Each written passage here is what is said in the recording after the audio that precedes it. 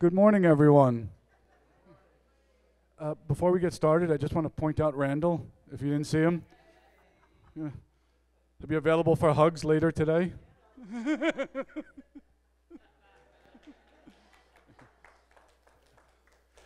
uh, first, we're going to go ahead and start with our employee recognition again. Barbara, if you don't mind coming up, and Mary. Thank you. Good morning, everyone. For the month of October, we will be celebrating 115 years of team member service.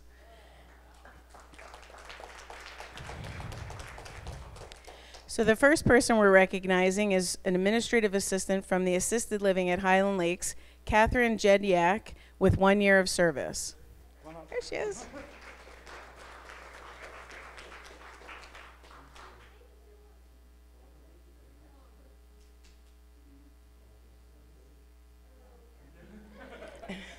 Also celebrating one year of service, we have our CFO, Debbie Medley.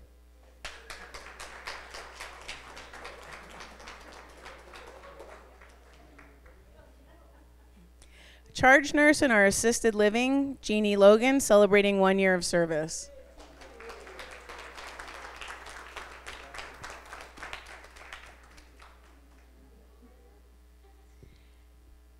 And our executive chef, returning for his second stint with St. Mark Village, completing one year of service, we have Kyle Kane. I know Kyle's here. He's hiding. He's hiding, okay. Um, celebrating two years of service, we have our Plant Ops Director, Sean Payne.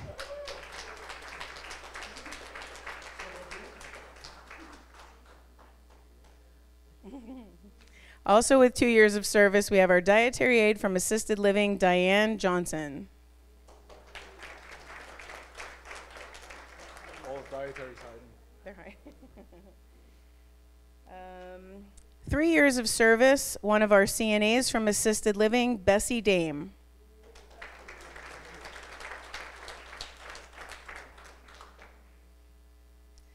With seven years of service, we have our sales marketing assistant, Lisette Encarnacion.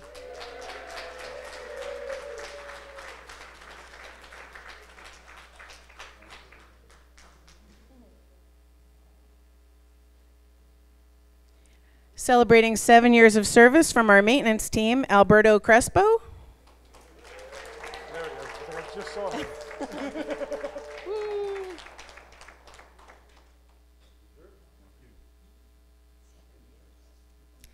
With nine years of service, we have a dietary aide from our assisted living, Denise Alexander.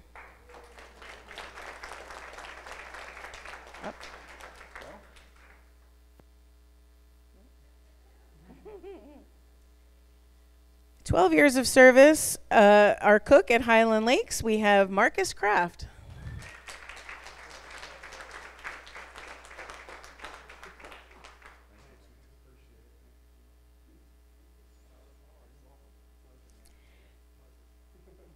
Fourteen years of service. We have our dining room coordinator at um, in our healthcare center, Mirko Kojic.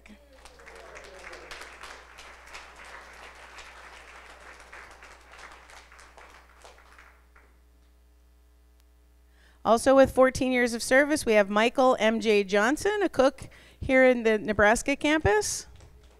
MJ?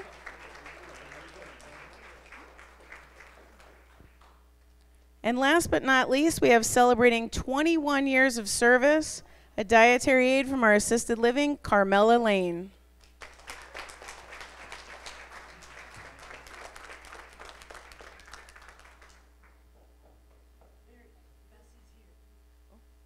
All right, let's go back. All right, let's do the one again. Three years of service, our CNA from assisted living, Bessie Dame.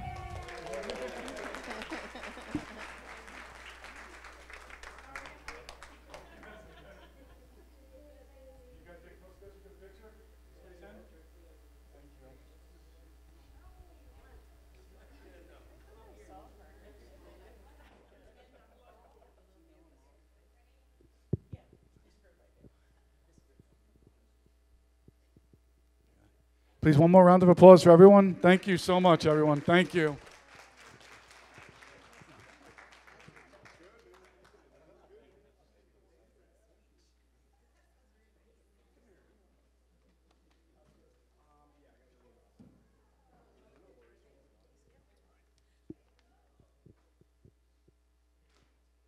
And we're going to ask Barbara to stay up here and recognize the new residents.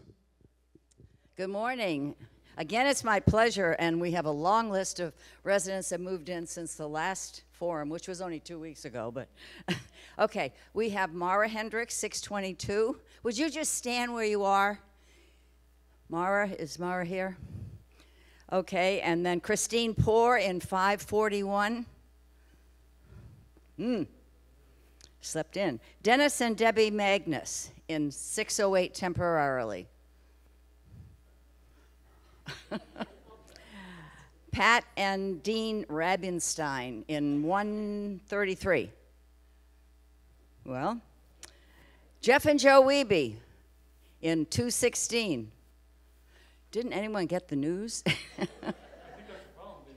oh. and Ron and Nancy Hughes in 646. well, let's give them a round of applause. I want um, I want to encourage you to consider your contribution for the Employees Gift Fund. Um, we've been in the process for two weeks now, and we have until November 18th for you to donate. And you know that life wouldn't be life wouldn't be fun for us if we didn't have the employees here. And we thank them as we do, you know, at the forum. But let's remember them generously with our contributions. Thank you.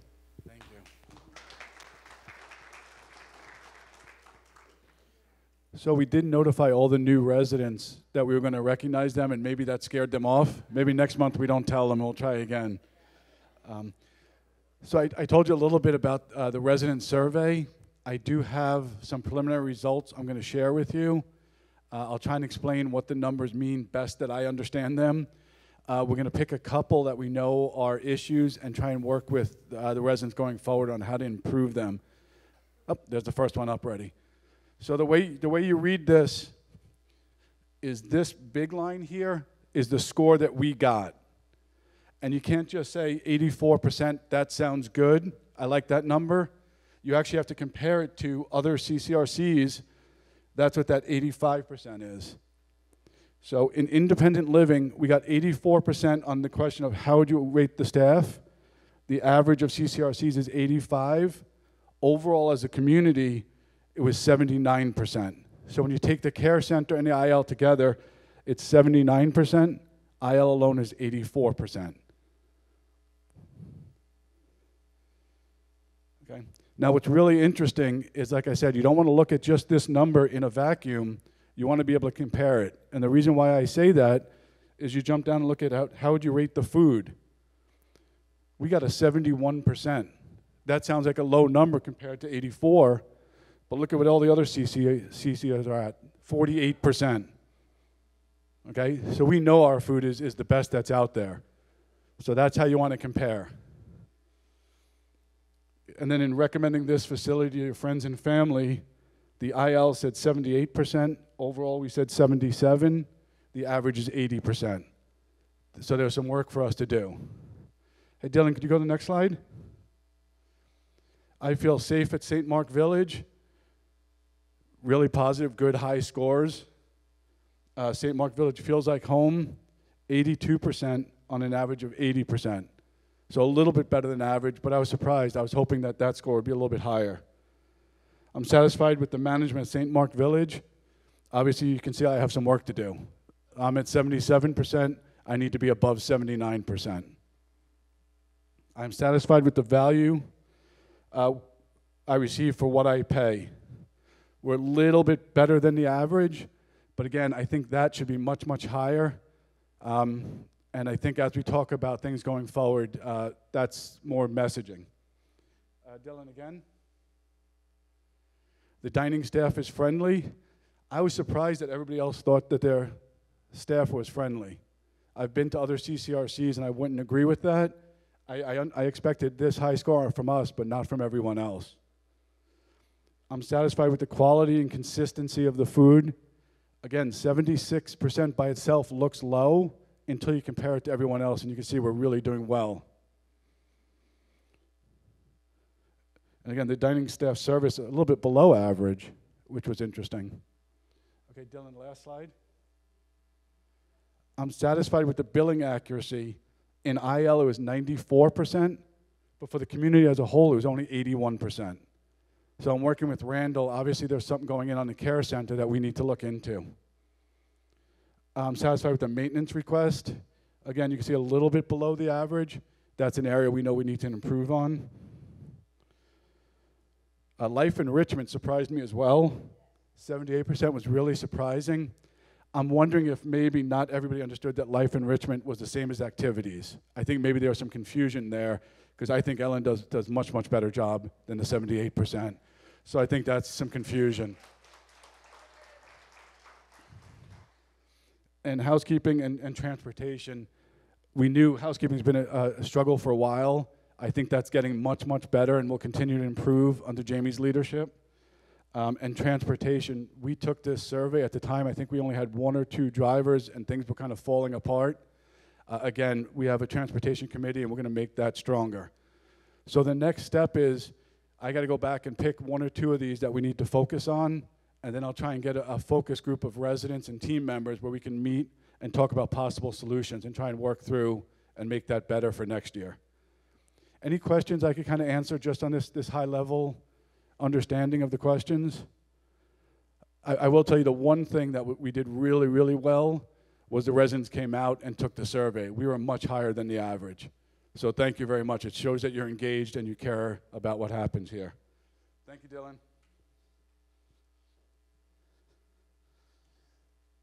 Okay.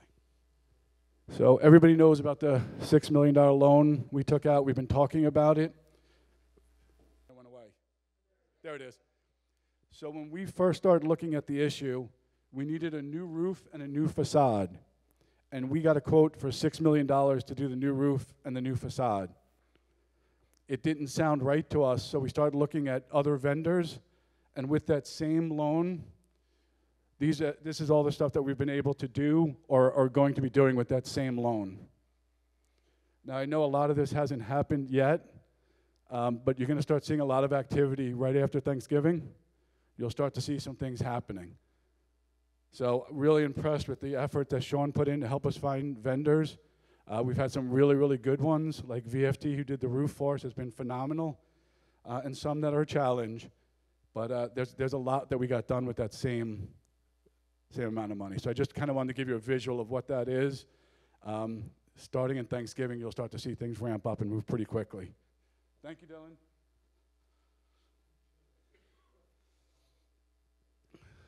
Couple of, couple of updates. I did get to talk to our pool furniture couple, company down in Fort Myers uh, two days ago. They were not affected by the hurricane. So our um, she was in tears on the phone because they've had so much trouble getting supplies and, and the workforce, and that's why it's taken so long. Um, the chairs and the lounges are done. We're just waiting for a couple of tables to be done, so we're expecting a week or two. We should see our pool furniture.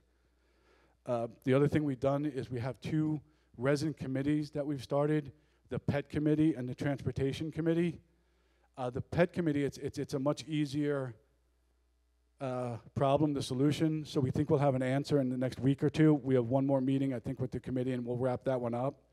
Uh, transportation committee is a much bigger, long-term problem, so we're taking our time to really kind of understand that and fix that. But until we do, uh, things will stay the way they are. We did get a third driver onboarded and started, so it feels like it's stabilizing a little bit, but we do need to look at that whole policy, and we will be.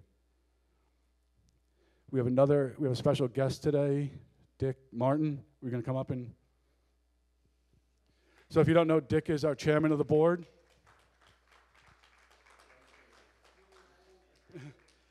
And last night, uh, we put in your mailbox some information about uh, donations and how it affects with the IRS.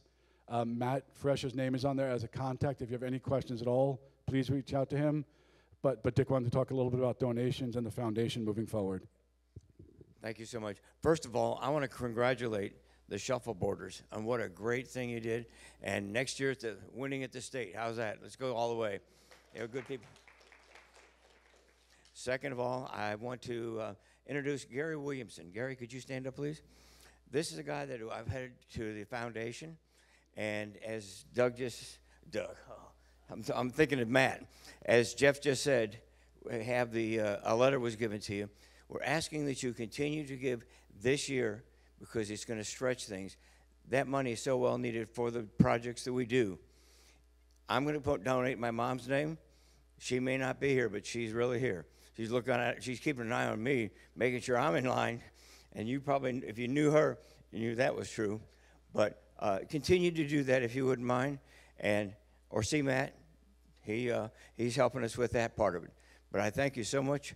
The employees, congratulations on each one of you for your tenure. We appreciate you, and we need you. So anyway, you sit in the audience and see poltergeist or eat Beetlejuice. I'm waiting for his head to spin around. anyway, thank you so much, Jeff.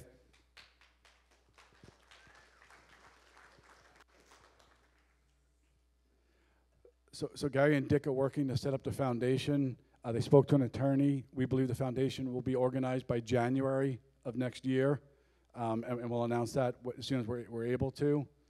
Um, the, the foundation board, I believe, is going to start off with three members uh, Gary as the chairman, Dick as the representative from the board, and then we're going to be looking for a resident to be on that board as well. We think it's really, really important that we have resident representation on that board. So we're excited to see that going forward. Uh, sales, Matt, do you want to cover sales? Or you want me to? You- Go ahead. Again, I didn't prep you. we didn't talk about it just like last time.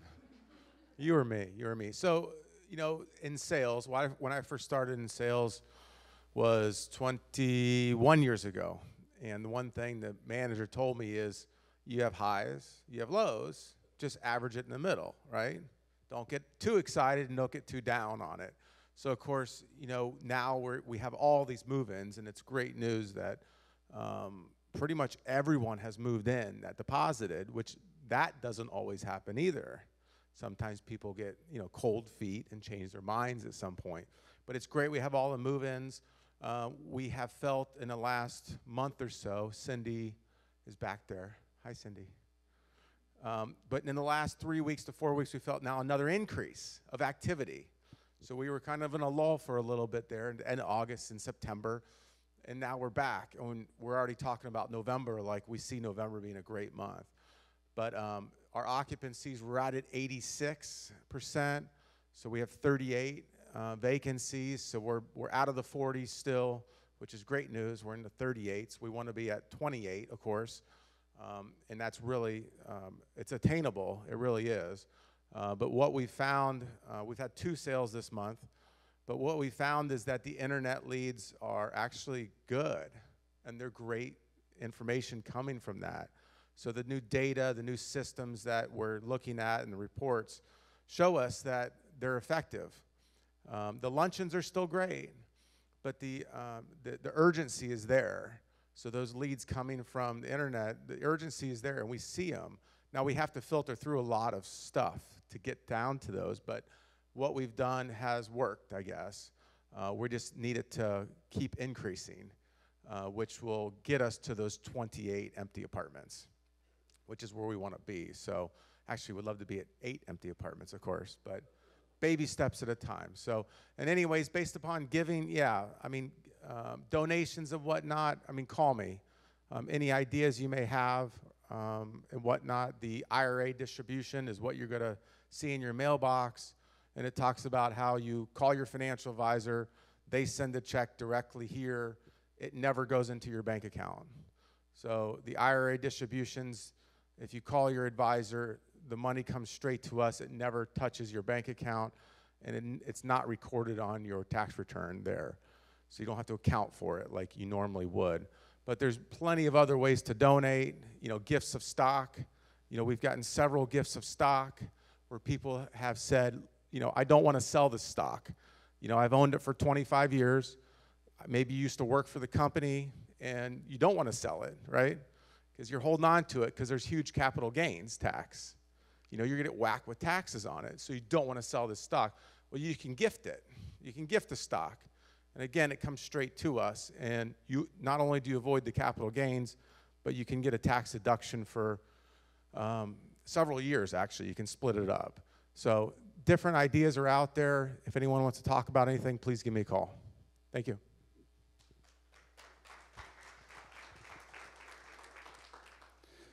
Uh, so Matt mentioned we only have uh, 38 open apartments. Uh, in the beginning of the year, we were about 41. We still also have 10 more move-ins scheduled this year that, that he didn't mention. So things things are going better. We're on the right path.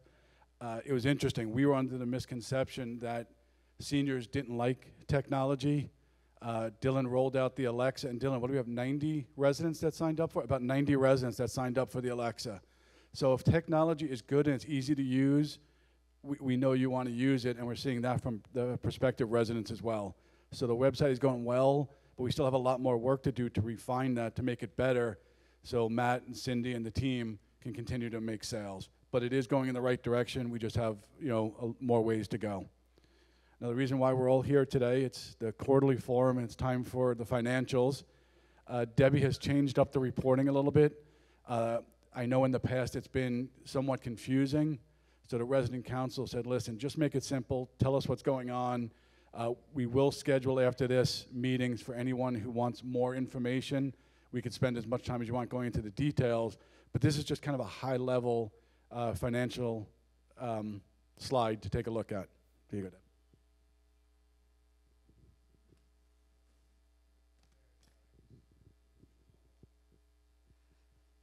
go, Okay, I hope everybody can see this now. All right, great. So as uh, Jeff talked about, we made this form a little simpler. We got some input. We listened to you. You said make the print bigger and then make it a little less confusing. So we took off the budget numbers. We took off last year's, and basically what we have is money in, money out, and the net of that. So the first line we have is our income line, and for the quarter ended 9:30, it's 5.9 million dollars. It's a little less than what we expected due to higher vacancy rates, but that is improving. So we should see some improvement in that in the fourth quarter. So our income includes our rents as well as any fees we get for taking care of people in our health centers. So those are the two numbers that go into that. We did get some news about our Medicaid and Medicare reimbursements that start October 1st. So the state of Florida, Medicaid, has given us an 8% increase in revenue which sounds great. However, there is a big string attached to that. What they've required us to do now is increase our minimum wage in our health center. Anybody that's associated with the health center has to be at a minimum wage of $15 an hour. So we looked at all our classes of employees, and, and really, most everyone touches the health center in some way. Really, the only group that we said um, we could really exclude from that would be the servers in IL. And so we, recruit, we increased their hourly wage to $14 an hour. So now St. Mark Village has a minimum wage of $14 an hour. The state of Florida is at $11, but we are now at 14. So hopefully that will help us, you know, be more competitive with our wages, and it helped us attract better employees and keep them here. So that change um, will net us about $170,000 in additional revenues over the year. However, the increase in wages will be about $350,000. So wages and benefits anywhere from $300 to $350,000 higher. So the net impact to us is about $180,000 negative. We also got our increase from uh, Medicare. That's 2.7%. Very low increase considering inflation is over 9% this year. Uh, Social Security went over eight, uh, went up over 8% this past year. So that'll net us about another $70,000 in revenue. And so we're still at a negative $100,000 plus with this change. And like I said, there's really nothing we could do. We can't opt out of Medicaid. That's just not a choice for us because we have several res residents that uh, are on Medicaid for the health center. So, um, uh, like I say, really, um, we'll expect to see some increase from that, but the expenses will more than uh, increase the increase we get in revenue. So our expenses includes um, our wages, benefits, supplies, um, utilities, wear and tear on our equipment, insurance. And as you all know, we um, are seeing a lot of pressures on costs. We really had um, a, a, labor shortage that we experienced in the beginning of the year. We made a lot of market adjustments to uh, increase people's wages to be more competitive. And then now, of course, we have the increase that's been forced on us by Medicaid. So those costs continue to increase. Inflation is over 9% this year. So all our costs are increasing for supplies. Uh, our, we just got our insurance renewal. It went up 13% this year. We felt pretty lucky. We know a lot of people are seeing 30, 40, 50% increases. Luckily, we locked in before Hurricane Ian, but um, we did see a 13% increase in that. So those things netted out to um, a negative of $212,000 for the quarter. So basically, our expenses were higher than our revenue for those three months. If we look at our year-to-date income, we're at uh, almost 17.6 million. Our expenses are uh, a little over 17.3. So for the nine months ended, we're at a positive of $219,000. But we do expect this inflation to carry into 2023, possibly 2024. As you all know, we're continuing to see supply shortages. All those things drive prices up. So if you guys know of anything that the price has gone down, let us know. we'll try to get on board with that. And as Jeff mentioned, we'll have another meeting where we go into more detail. We'll dive a little further into the, the numbers. But if you have any questions, I'd be happy to answer them. Nope. Okay. Thank you.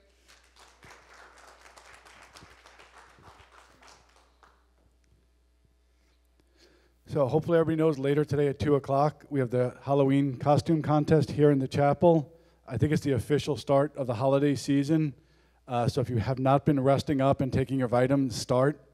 I think it's going to be as um, much fun as it was last year. Dylan, did we pick a date with the, the concert? Is that it's locked in? So if you remember last year, we had the Hall Sisters come and sing for us. They'll be back December 8th this year. Um, and we're combining it with the friends and family party so that we can have better attendance. I thought that was a really, really fun event. Dylan works tirelessly on that. He does an amazing job. And this year, the vendors that have been working on our building all year are paying the full bill for that concert. So I thought that was the least they could do. So that, that's all I had. Is there any, any questions that we can answer for anyone? Yes, Leona?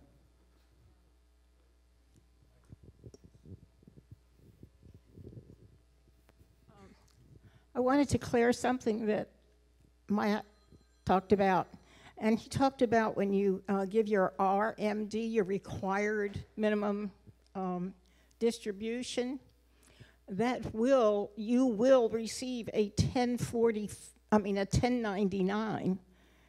And when you receive that, I would suggest that you talk to your tax person and be sure that they understand that that has been given to um, St. Mark Village or any other charity that you have given so that it is not added in as an income factor. Thank you. Norma?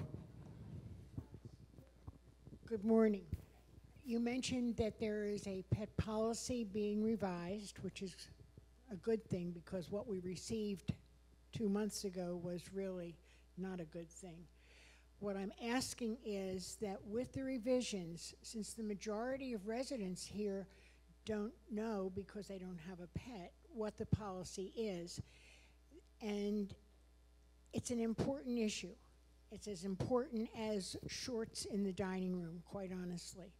I would like to suggest and request that this be put to a community vote and let everybody see what the changes are because you advertise prominently as a pet friendly facility.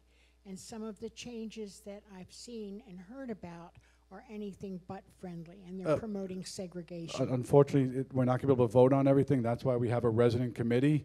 Have we announced who's on the committee, Barbara? Maybe we could put that in the, in the lively mark, so everybody, if you have a comment, you could bring it to the committee, but it's not going to be a community vote.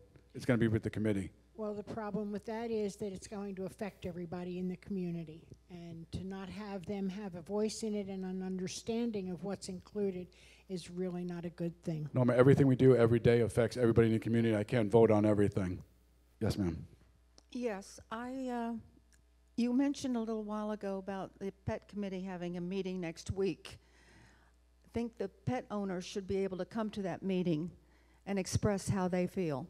You can talk to the, the committee members on your I- own. I don't know who they are. I said we'll put it in the lively mark so you know who it is, so you can speak to them. Okay. I agree, you need to have input, and you need to know who's on the committee. Right. But we can't all get together, all 275 of us, and make every decision. Okay. So, any other questions? But I, I will tell, as we create these committees, these, we do want input. We do want people to, to give their feedback so we can get it, get it right.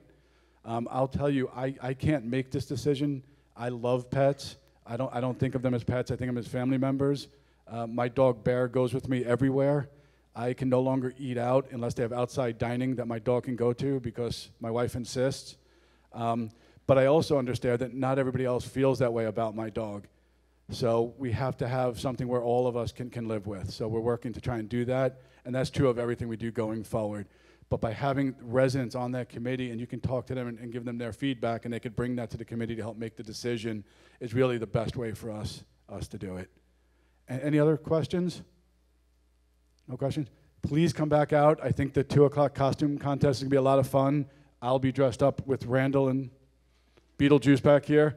Um, we also, I think we have a singing, a song. So please come back out at two o'clock and we'll see you then. Thank you.